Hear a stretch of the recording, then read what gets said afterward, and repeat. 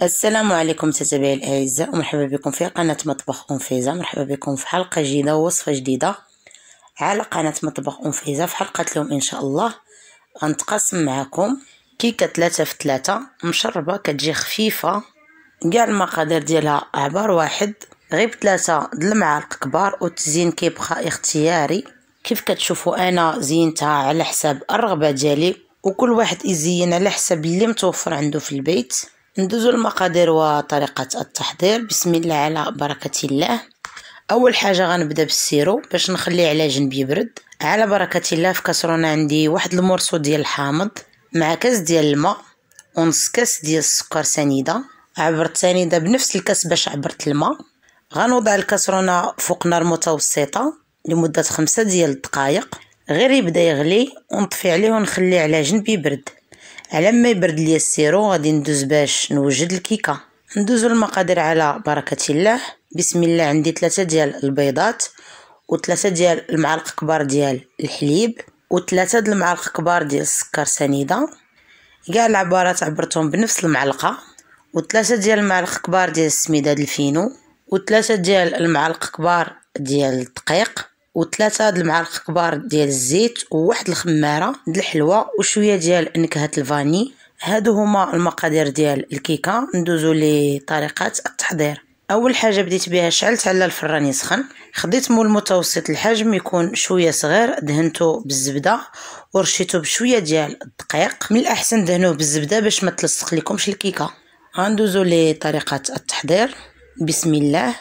في اناء غادي نوضع البيض. من الأحسن نستعملوا البيض يكون شوية كبير ما يكونش صغير في الحجم.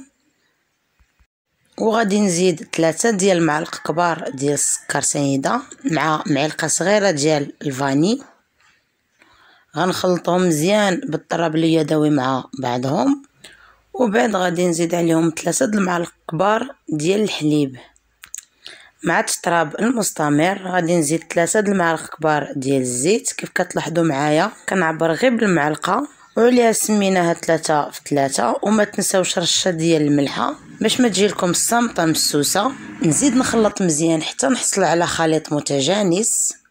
وبعد نزيد ثلاثة د المعالق كبار ديال السميد الفينو مع واحد الخمارة وزن عشرة غرام. دائما غربلوا المواد الجافة. غادي نزيد ثلاثة د المعالق كبار ديال الدقيق د الحلوى هاد القياس ديال الدقيق اللي وضعت راه كافي وهاد القياس اللي وضعت بالنسبة للسيرو ما غنشربهاش بزاف ماشي ماشي كيف البسبوسة. كيف كتعرفوا البسبوسة كتجي مشربة بزاف. غادي نزيد نخلط مزيان حتى يتجانسوا كاع المكونات مع بعضهم. نخلط مزيان باش ما يبقاوش الحبيبات ديال الدقيق من وسط الخليط. بعد ما وجد الخليط حصلت على خليط بهذا القوام.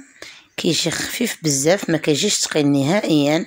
غنجيب المول اللي كنت دهنت من قبل ونسكب فيه الخليط. السمك السمك ديال الكيك انت اللي غتحكمي فيه. إلا بغيتي الكيكة تجيك طالعة استعملي مول صغير. ولا بغيتيها تجيك هابطة استعملي مول كبير. بعد ما سكبت الخليط في المول غنقاد الوجه ديالو باش يجيني مقاد. ما تجينيش جهة طالعة جهة هابطة. ومن بعد غادي ندخل الكيكة الفران اللي سخنت من قبل. نخليها طيب وطلع مزيان تحمر. تحمر تاخد اللون ديالها وبعد ما نخرجها نرجع لكم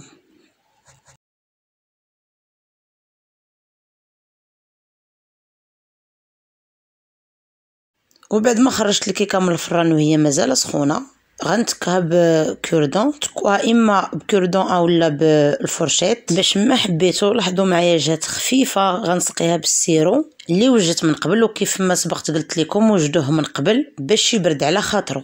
غنسقي به الكيكة وهي مازال سخونة نخليها تشرب مزيان وتشرب كاع ال sirop اللي سكبت فيها. غنطلقها بعد ما نقلبها في طبق تزيين. نزينوها مع بعض. بعد ما شربات كاع ال sirop قلبتها في الطبسيل كيف كتلاحظوا معايا شربات مزيان وخليتها بردت تماما. خليوها تبرد مزيان عاد قلبوها باش ما تكسرش ليكم. غندهن ليها الوجه ديالها بثلاثه د المعالق كبار ديال ال confiture ديال المشماش أو مربى ديال المشماش. وكيف كتلاحظوا معايا هذا راه ظهرت الكيكه ماشي الوجه ديالها. إلا كان عندكم ال moule ديالكم كيلصق ما تقلبوهاش خليوها على الوجه ديالها. أنا ما كيلصقش. أولا طبعا دهنوه بالزبده الزبدة. غادي تساعدكم باش ديموليوه بسهولة. غنقسمها إلى مثلثات. بسم الله. نلاحظوا معايا القوام ديالها. ما تتفرتتش. خفيفة كتجي رائعة. وكيف ما سبقت قلت لكم التزيين كيبقى اختياري. زينوا باللي متوفر عندكم في الدار. باش كتبقى دائما كيكة بسيطة أنا غنزين باللي متوفر عندي. في كل مثلث غنوضع شوية ديال الكوك مع نص حبة ديال السوريس كونفي هاد التزيين هو اللي متوفر عندي لنهار اليوم. وها هي وصفة اليوم واجدة. وهذه هي الكيكة ديال ثلاثة في ثلاثة كل شيء درنا منه ثلاثة كيف تبعتوا معايا طبعا؟ وهذا هو شكلها النهائي. كتجي زوينة بزاف ما شاء الله ومذاق رائع ولا أروع. بنينة بنينة بزاف. جربوها صدقوني غتعجبكم وما غاديش تبقاو تستغناو عليها نهائيا. شوفوا معايا كيفاش جات من الداخل. ما جاتش مشربة بزاف لكن طعمها أكثر من رائع. كنتمنى هاد الوصفة تنال اعجابكم وتبارطاجيوها مع أحبابكم وأصدقائكم. وما تنساوش الضغط على زر الاشتراك وتفعيل الجرس باش دائما تتوصلوا بالجديد. شكرا لكم وإلى الوصفة القادمة إن شاء الله.